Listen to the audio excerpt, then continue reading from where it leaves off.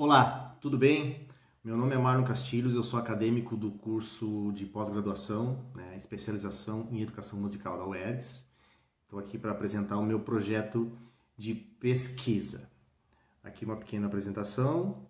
Uh, Marlon da Silva Castilhos, meu nome, e o meu orientador é o professor Augusto Souto. Eu quis aproximar a minha pesquisa uh, da minha atuação enquanto professor de, de música. Na verdade, eu trabalho como professor de arte no município de Caxias do Sul. A minha formação é licenciatura em música. Uh, na minha atuação, eu procuro trabalhar as outras artes também, por uma questão de, de demanda da escola, né?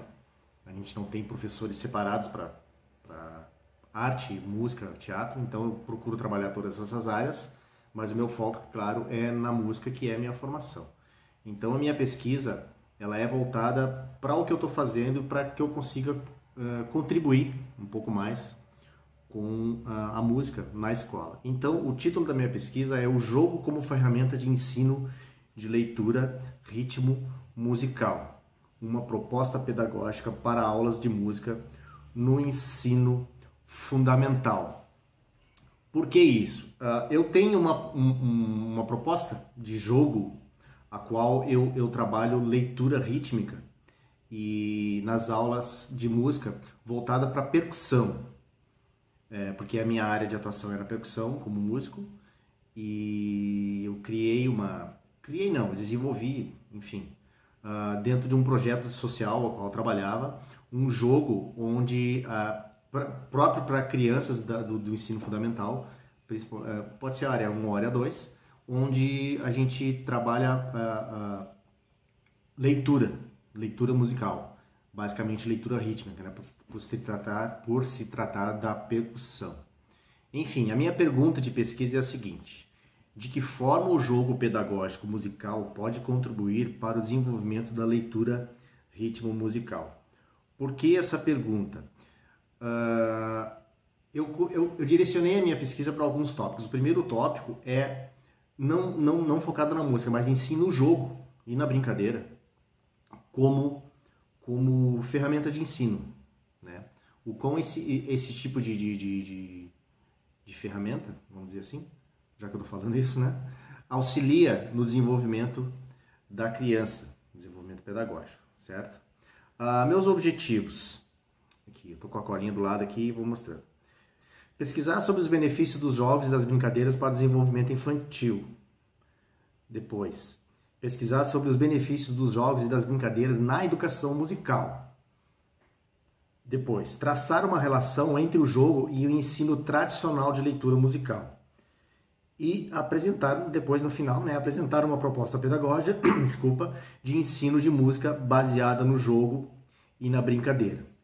Uh, como eu disse antes, eu estou seguindo algumas etapas. Primeiro, eu, eu, eu, eu penso em pesquisar uh, o jogo em si e a brincadeira de um modo geral na educação. Depois eu passo para o jogo e a brincadeira na educação musical, que é muito forte, tem bastante material sobre isso. Depois eu quero falar um pouco sobre o ensino uh, de, de, leitura musical, que ainda sofre com um, um tecnicismo exagerado. Assim existem já várias. É, existe já uma onda de, de, de, de, de técnicas aparecendo para ensino de leitura, porque a leitura continua sendo uma, um, um, um, ponto importante né, da, da, da, música, do ensino musical. Existe, claro, leituras alternativas, existe aquele tipo de ensino onde tu não usa leitura, tu simplesmente toca. Todo, tudo isso é válido, mas eu, eu, enquanto professor, acredito que a leitura musical tradicional ela segue sendo muito importante não tanto para quem vai tocar música, mas e sim auxilia no desenvolvimento da criança. É uma ferramenta interessante, é uma outra linguagem que a criança se apropria e que vai ajudá-la muito uh, em, em, todas as áreas, não só das artes, mas enfim. Então eu, eu, eu considero a leitura musical é, extremamente necessária, inclusive para aquela criança que tem o desejo de seguir na música, né, como profissional, enfim. Não é preciso ler música para ser profissional de música, mas é, seria bem interessante para quem deseja uh, seguir nesse caminho da leitura, certo? Então, voltando aqui, eu dividi em alguns tópicos. O primeiro tópico é o jogo e o brincar no desenvolvimento infantil. Para esse tópico, nas minhas pesquisas de artigo, eu consegui, a princípio, cinco artigos, certo? E estou me baseando em dois livros. Uh, nesses artigos eles falam muito de Piaget, Vygotsky e tal, então eu achei alguns materiais sobre Vygotsky, ainda estou na procura, e achei esse livro aqui do Piaget, A Formação do Símbolo na Criança. Aqui ele fala bastante sobre o jogo e, e as brincadeiras. Né? E esse livro aqui, ó, que é mais recente, que é Aprendizagem através do Jogo, do Juan Antônio Moreno Múrcia. É um livro bem recente, é um livro de 2018, se não me engano. Tá aqui o livro, ó. Esse aqui eu comprei ele até para pesquisa. É um livro bem interessante. Uh, ele tem o foco mais na educação física, mas ele fala do jogo, no modo geral, na, na, na educação, na, no formato da educação. Então, é, tem me ajudado bastante na pesquisa, nesse tópico, né? Que é o tópico mais geral. Depois, passando aqui, eu, eu, foco mais no jogo como ferramenta, uh, jogo e brincadeira na construção de vivências musicais. Jogos e brincadeiras na construção de vivências musicais. Tá? Nesse tópico, eu estou focando um pouco mais, porque é mais a, a, a linha da pesquisa, não é? Eu já consegui 11 artigos pesquisando em, em Google Drive e, é, é, Anais da Bem, em, nos outros canais de pesquisa que a gente tem, que a professora nos forneceu. Uh, vários artigos sobre eu consegui. Na verdade, não tantos assim. Eu achei, que, achei até que eu consegui mais sobre jogos e brincadeiras na educação musical. Mas, enfim, desses eu selecionei por enquanto 11 artigos, tá? Uh, o, o, número de artigos que eu botei aqui, os artigos que eu já li. Tá? Tem mais alguma coisa para ler, muita coisa para ler ainda, né? E, por enquanto, de livros de literatura, esses dois livros aqui, ó, Jogos Pedagógicos para Educação Musical e Música na Educação Infantil. Uh, eu também tenho esses livros aqui. Da, os Jogos Pedagógicos é da Rosa Luiza dos Mares Guia, esse livro aqui. Na verdade, ele traz exemplos de jogos, vários exemplos de jogos pedagógicos específicos para a educação musical, mas ele tem uma introdução muito boa que fala sobre o brincar e o jogar uh, na educação musical também, que me ajudou bastante a entender essa temática. E esse clássico aqui da Teca Alencar, né? Música na educação infantil, que é basicamente brincadeiras uh, nas aulas de música, que é muito bom também ter um, um, um referencial teórico ótimo aqui para eu usar. Meu próximo tópico seria o ensino tradicional de leitura musical, a desmotivação como resultado de um ensino tecnicista. Aqui eu quero falar sobre exatamente sobre isso, como o ensino de leitura ainda é muito forte a questão técnica, aí que deixa o estudo um pouco pesado. Assim. Uh, confesso que achei poucos artigos sobre, eu ainda não cheguei nessa parte aqui de leitura. Selecionei, desses que eu pesquisei, selecionei sete artigos uh, sobre o tema. Uh, ainda preciso pesquisar muito mais, eu pesquisei pouco porque eu ainda estou nos tópicos anteriores, né? Focando um pouco mais nos tópicos anteriores. Minha pesquisa está bem no início por uma questão de eu ter mudado o tema várias vezes, né? Enfim. Uh, mas eu tenho achado pouca coisa sobre isso aqui. Sobre o ensino de leitura. Principalmente leitura rítmica. Eu tenho procurado mais a questão da leitura rítmica, né? E eu tenho achado bem pouco. Uh, na verdade, os textos que eu achei e, uh, são sobre a leitura de um modo geral, assim. Preciso pesquisar bem mais. Inclusive, quem, quem tiver material, por favor, pode me indicar. E aí, o próximo tópico, que seria ali mais a conclusão da, da, da minha fala, seria exatamente o jogo versus ensino tradicional que é, exatamente a ideia é eu a minha pesquisa ela é voltada porque eu tenho a ideia de que o jogo é uma grande ferramenta de ensino, de leitura. E eu quero nesse nesse ponto eu quero falar exatamente o contraste disso, né? De ensino da, da do, do, ensino tradicional, que é ensino tecnicista básico, e do jogo e da brincadeira, que pode auxiliar muito nesse ensino. Inclusive a minha proposta pedagógica é exatamente uh, o jogo como ensino de leitura, né? Então, o quanto ele, ele auxilia. Essa seria a, a conclusão da pesquisa. E depois, eu gostaria de apresentar uh, a, minha, a, a minha proposta pedagógica, que aqui eu vou apresentar aqui mais ou menos aqui num dos slides, ó, é, seria o último tópico, né, uma proposta pedagógica para aulas de música no ensino fundamental. A proposta é o seguinte, ó, é, ela funciona quase como uma oficina, mas ela pode ser desenvolvida em todos os anos iniciais, tanto área 1 quanto área 2. Eu penso lá na escola é, em começar no terceiro ano com essa atividade, dá para desenvolver até o nono. Até o nono ano. Tu criar uma, eu, eu consigo criar uma, uma, uma, uma oficina, vamos dizer assim, que dure todos esses períodos. Em cada ano a gente vai desenvolvendo alguma coisa. Paralela a essa oficina, eu crio uma orquestra de percussão onde a gente vai desenvolvendo os trabalhos de leitura que a gente foi praticando na sala de aula. Essa é mais ou menos a ideia da proposta, certo? Então, pode ser trabalhada tanto, no, tanto em formato de oficina quanto na escola regular, podendo ser aplicada, o asterisco ali é, é, é pelo que eu já falei agora, a partir do terceiro ano até o nono. Com o primeiro ano, segundo ano, também funciona ali a parte inicial do jogo, também funciona e funciona bem, funciona bem.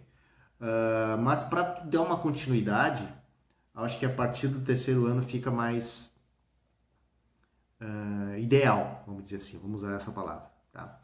A primeira parte do, do, trabalho é uma introdução sobre as propriedades do som, da duração, intensidade, altura e timbre. A gente, eu trabalho esse lance de autoridade, de autoridade é ótimo, de propriedades do som, porque isso aparece muito no jogo, certo? A segunda é uh, os materiais que a gente vai usar para o jogo, que pode ser instrumentos de percussão disponíveis na escola, o que é bem raro, uh, instrumentos fabricados pelo, pelos alunos, o que é uma prática bem usual nas escolas hoje, na escola pública, né?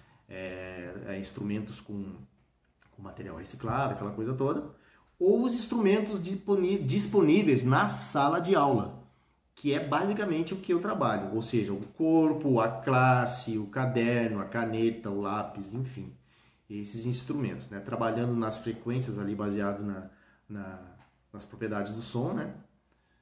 A gente usa eh, basicamente isso, né? Ou lá, traz latas, aí já, já, já, já cai na área dos instrumentos é, com material reciclado, né? Enfim, a gente tem que trabalhar com aquilo que a gente tem na escola, né? Na maioria dos casos. Tá? E aí a primeira parte da, da... Primeiro a gente fala ali da, da, da Primeiro a gente fala das propriedades de som, os instrumentos, tá? Ah, e também a gente trabalha muito as vozes rítmicas. Condução, clave e marcação. Todo jogo é baseado nessas vozes rítmicas, certo? Então, em um primeiro momento, eu trabalho dessa forma aqui, ó leitura que eu chamo de leitura rítmica direta. Eu uso a C mínima como uh, unidade de tempo, né? Digo para eles, ó, a gente vai trabalhar compasso, explico o que é compasso. Dentro desse compasso tem quatro tempos e quando vocês verem essa figura aqui, significa que ela está representando um som, seja ele qual for. Se é a palma que vocês vão bater, se vocês vão bater na classe, vocês vão tocar com uma caneta, vocês vão tocar com uma garrafa, com uma lata, enfim. Isso é o som. E esse aqui é o silêncio. Simples assim. Som, silêncio. Não vou trabalhar a duração da nota e, e as outras. Não, é, nesse primeiro momento, não, uh, eu não vejo essa necessidade. Primeiro, eu, eu acho que é ideal eles se habituarem com a escrita, enfim, para depois a gente ir é, aos poucos implementando toda a mecânica né, da escrita. Aí passa para as cartas, é um jogo de cartas certo? São três cartas diferentes, com três cores diferentes, cada uma representando uma voz. Uh, eu usei algumas cores aqui, mas pode ser qualquer cor, né? Não, não tem muito. Carta representando vozes e timbres, certo? A vermelha é a condução, timbre agudo. Eu vou usar aqui uh, como base toda a condução nas frequências agudas, toda a clave nas frequências médias e toda a marcação nas frequências graves, como se fosse uma bateria, uma bateria, um instrumento bateria. Uh, por que isso? Porque isso geralmente é a classificação em, em, oficinas de percussão. Vamos fazer uma oficina de percussão do, de samba, por exemplo. Pega uma escola de samba. Né? Todas as conduções são os instrumentos agudos, os chocalhos, os, enfim. Uh, as claves são ali as caixas, os tamborins, e as marcações são os surdos, os, os instrumentos graves.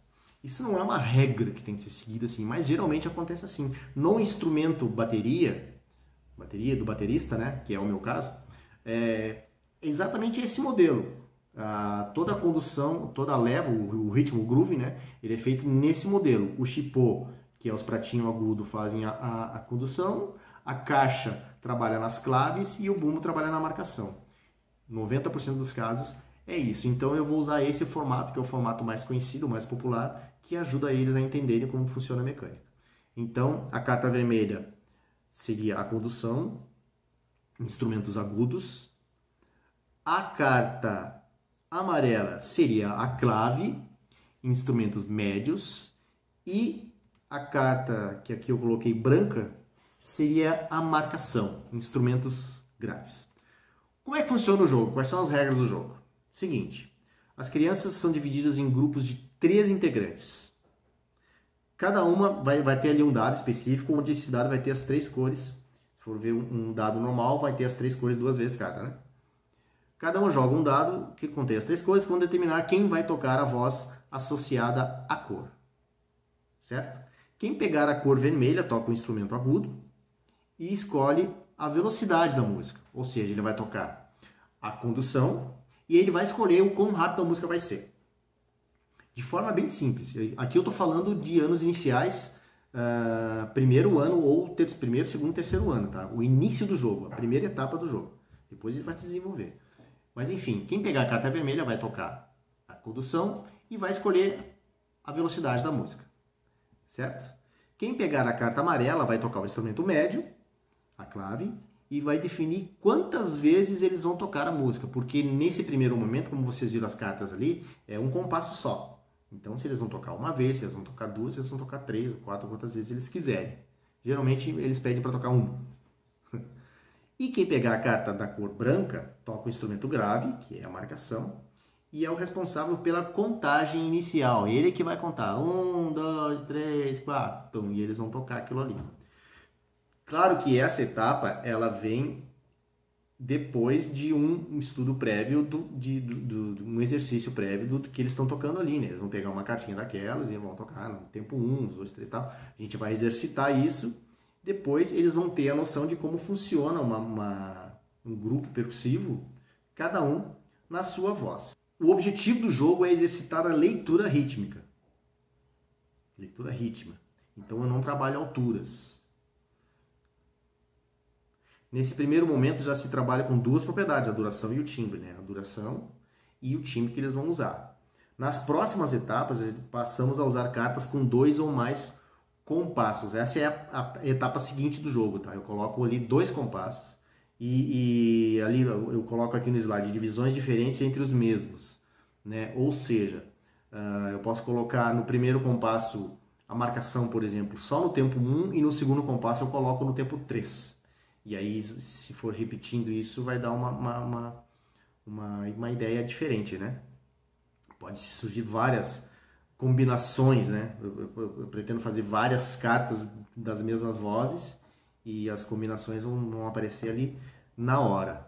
Né? Nas próximas etapas, eles já vão, já vão ter ali na partitura sinais de, de, de, de acentuação, né? Onde eles vão ter que tocar uma nota mais forte, uma nota mais fraca, trabalhando assim a intensidade. Essas já seriam etapas é, posteriores né, do jogo. As outras figuras eu uso nas etapas seguintes. E aí eles vão trabalhando todas essas questões de, de, de leitura. Então, recapitulando, né, a minha pesquisa é sobre o jogo na, na educação musical. Eu começo é, falando sobre o jogo e a brincadeira na educação de um modo geral depois uh, volto para o tópico jogo e brincadeira na educação musical, depois eu falo um pouco do ensino de leitura, uh, que, é um, que é, ainda é um pouco baseado no tecnicismo, que deixa que tira um pouco do incentivo né, do, do, do, aluno em aprender a leitura, porque é um ensino um pouco pesado, um pouco chato.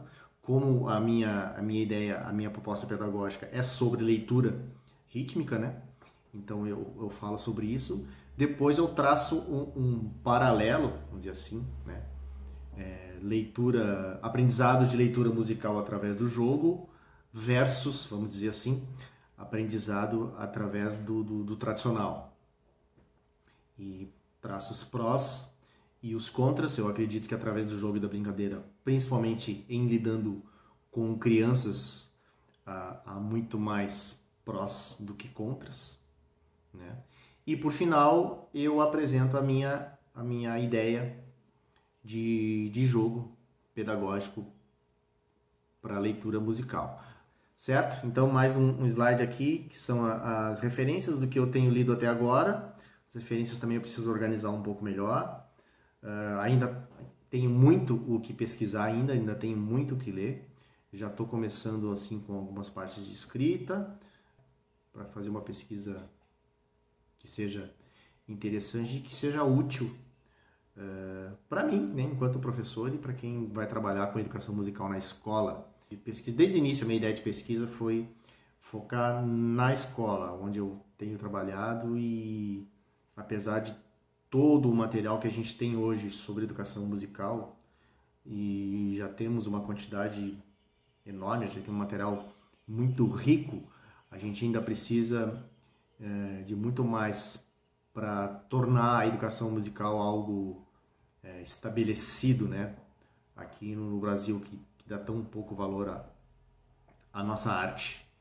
Então tá, é isso. Muito obrigado. Até, até a próxima.